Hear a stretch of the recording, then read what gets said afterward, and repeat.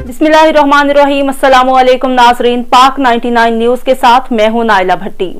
नज़र डालते हैं आज की कुछ अहम खबरों पर। पाकिस्तान नेवी की जानिब से डिग्री कॉलेज पस्ती में ज्वाइन।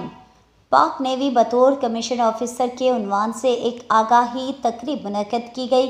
डिग्री कॉलेज पस्ती में मुनद तकरीब में कॉलेज के एफ़ एस सी और ए डी एस के तलबा ने हिस्सा लिया। तकरीब का अफ्ताह तिलावत कलाम पाक से हुआ।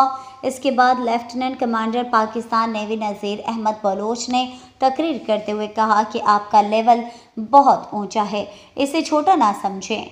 मेहनत करें, बड़े इदारों के बड़े अहदे आपका इंतज़ार कर रहे हैं।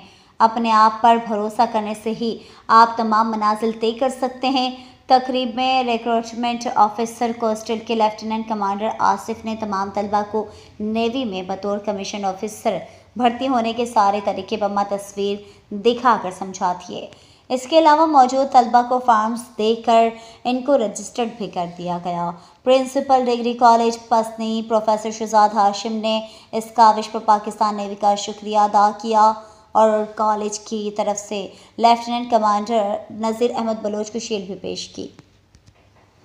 है शिप से उसका मतलब इस नेवी की ज़ुबान होता है, शिप। उस वक्त ये इस तरह के शिप थे। ठीक है, शायद आपको नज़र आ रहा है। ठीक है, फिर शिप्स इवॉल्व होते गए। अभी ये अमेरिकन या आप देखेंगे जो रशियंस हैं, वो इस तरह के एयरक्राफ्ट कैरियर्स हैं उनके पास। ठीक है, सबसे नेवी का जो सबसे जदीद चीज़ है वो ये है कि वो लेके जाते हैं एयरक्राफ्ट कैरियर उसमें जहाज़ होते हैं, पूरा रनवे होता है।